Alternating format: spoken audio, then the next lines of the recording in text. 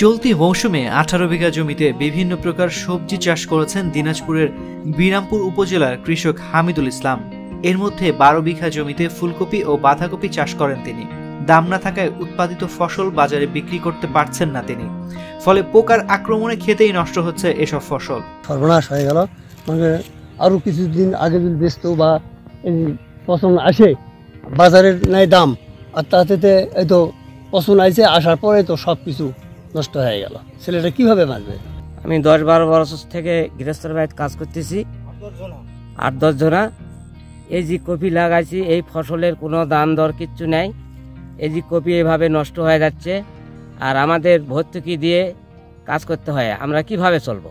চলার মতন তো আমাদের কঠিন অসুবিধা হয়ে গেছে। রোববার বিকেলে উপজেলার মাইনপুর মাঠে গিয়ে দেখা যায় বিঘার পর বিঘা চাষ হয়েছে ফুলকপি আর বাঁধাকপির। কিন্তু পোকার আক্রমণে খেতেই পড়ছে আশপাশের অনেক গ্রামবাসী এসব ফসল নিয়ে যাচ্ছেন গোখাদ্য হিসেবে। খোঁজ নিয়ে জানা গেছে, কৃষক হামিদুল ইসলাম দুই হাজার উনিশ সালের জানুয়ারি মাসে বাংলাদেশ কৃষি সম্প্রসারণ অধিদপ্তর কৃষি মন্ত্রণালয়ের অধীনে জাতীয় সবজি মেলা দেশের শ্রেষ্ঠ সবজি চাষির পুরস্কার পান। এ সময় পুরস্কার হিসেবে নগদ দশ হাজার টাকা এবং একটি ক্রেস্টো পান। চাষি জাতীয় পুরস্কার চাষি দু হাজার উনিশের পর এ পর্যন্ত কোনো কেউ খোঁজ খবর করে না।